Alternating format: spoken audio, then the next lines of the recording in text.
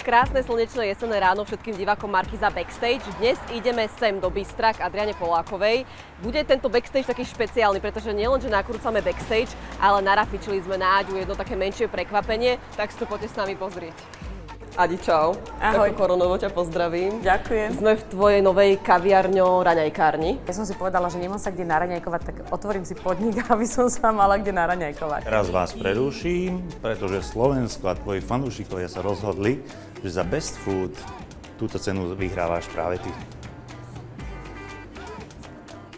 Ja som to vyhrala! Ďakujem. To čo ste si vy na mňa prichystali? Ja to zatiaľ poťažkám a povedz mi, kedy ti naposledy pomohlo to, že si známa? Fú. Sú veci, ktoré či si známa, či nie, musíš vybaviť. Je pravda, že ja veľmi nerada niekde prídem, že prepačte, ja som tá, tá, môžete mi to, no tak to vôbec nie. To je.